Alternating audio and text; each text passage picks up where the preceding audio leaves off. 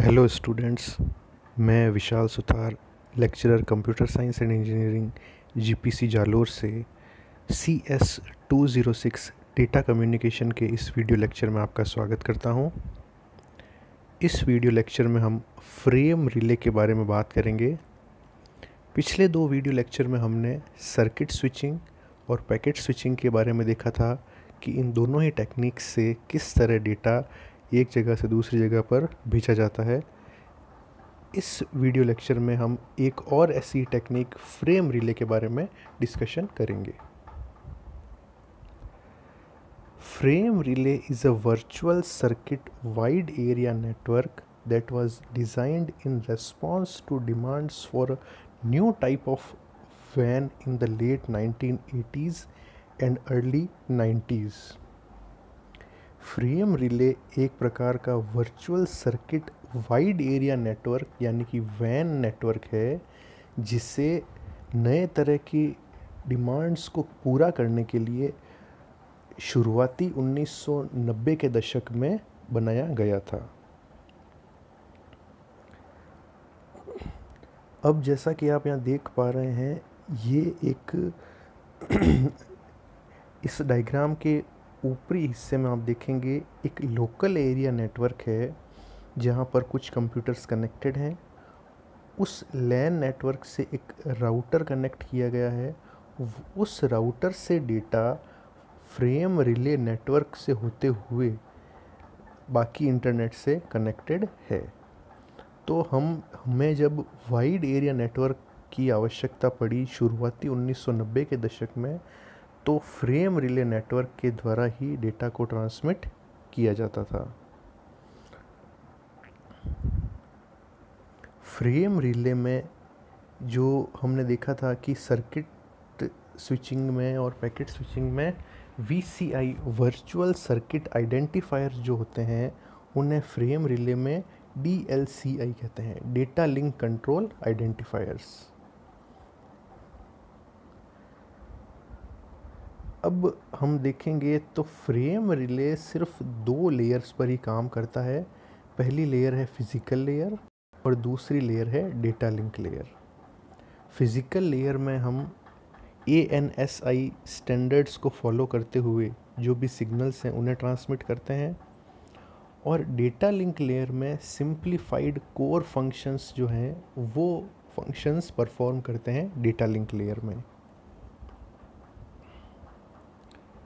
Frame relay operates at the physic and data link layers ये बात ध्यान रखना काफ़ी इम्पोर्टेंट है स्टूडेंट्स की फ्रेम रिले केवल शुरुआती दो लेयर्स पर ही कार्य करता है, जो कि है फ़िज़िकल और डेटा लिंक लेयर अब हम यहाँ देखेंगे कि फ्रेम रिले का जो फ्रेम है, उसका क्या स्ट्रक्चर है।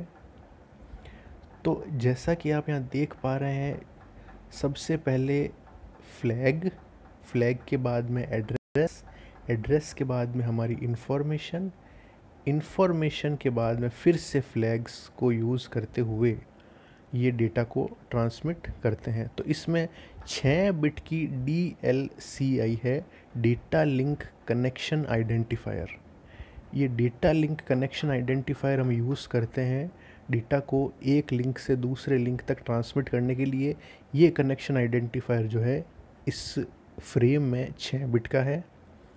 कमांड रेस्पॉन्स के लिए हमने एक बिट काम में ली है।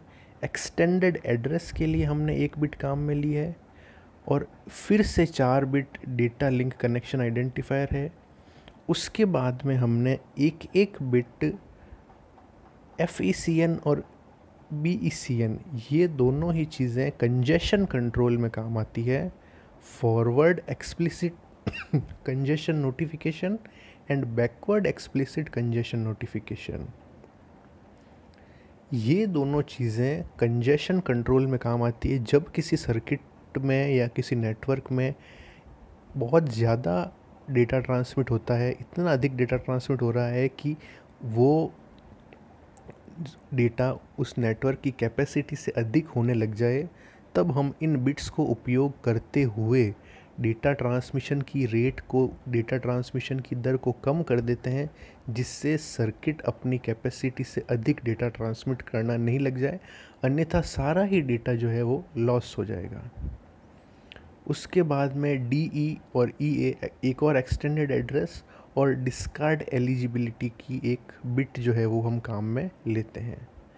तो ये एड्रेस बिट है पूरे ही पूरे फ्रेम रिले के फ्रेम का। यहाँ पर जो फ्रेम है वो बहुत ही बड़ा होता है, लेकिन एड्रेस बिट के अंदर ये सारे फील्ड्स जो हैं वो अलग से मेंशनड किए गए हैं। शुरू में हम फ्लैग काम में लेंगे फ्लैग के बाद में अभी हमने जिन फील्ड्स के बारे में बात की, ये सारे ही फ़ील्ड एड्रेस फ़ील्ड के हैं, फिर हमारी इंफॉर्मेशन होगी, उसके बाद में एफसीएस और फिर से फ्लैग बिट। तो इस तरह से एक फ्रेम रिले के फ्रेम का स्ट्रक्चर होता है, जिससे डेटा को ट्रांसमिट किया जाता है। और यहाँ पर मुख्य चीज़ है, इसकी एड्रेसिंग का जो पार्ट है उसके अलग अलग फील्ड्स को बहुत ही ध्यान से मेंटेन करना ज़रूरी है। Frame relay does not provide flow control और error control they must be provided by the upper layer protocols frame relay अपने आप में ही एरर कंट्रोल और फ्लो फ्लो कंट्रोल को प्रोवाइड नहीं करता है। ये सारी ही चीज़ें डेटा को यूज़ करते हुए अपर लेयर्स जो ऊपरी लेयर हैं, उन्हें प्रोवाइड करनी पड़ती है। तो जो भी चीज़ें हैं, जो एरर कंट्रोल या फ्रो कंट्रोल से रिलेटेड हैं, अगर हम फ्रेम रिले नेटवर्क काम में ले रहे हैं तो इन सारी चीज़ों को मेंटेन करने की ज़िम्मेदारी जो होगी, वो अपर लेयर्स की होगी। अब हम यहाँ पे देखते हैं तीन एड्रेस फॉर्मेट्स हैं। ये सारे ही फील्ड्स क्या काम में आते हैं, ये हमने पिछली स्लाइड में देख ही लिया है। तो यहाँ पे टू बाइट एड्रेस हम काम में लेते हैं तो टेन बिट डीएलसीआई होता है। अगर हम थ्री बाइट एड्रेस काम में लेते हैं तो उसमें सिक्सटीन बिट का डीएलसीआई होता है। और अगर हम चार बाइट का एड्रेस लेते हैं तो उसमें तेईस बिट का डीएलसीआई होता है। तो जितना बड़ा नेटवर्क होगा, उतने ही अलग अलग तरह के एड्रेस फॉर्मेट्स हमें नेटवर्क को ध्यान में रखते हुए काम में लेने पड़ेंगे और उसी नेटवर्क के अनुसार ही हमारे डेटा लिंक कंट्रोल आइडेंटिफायर्स होंगे।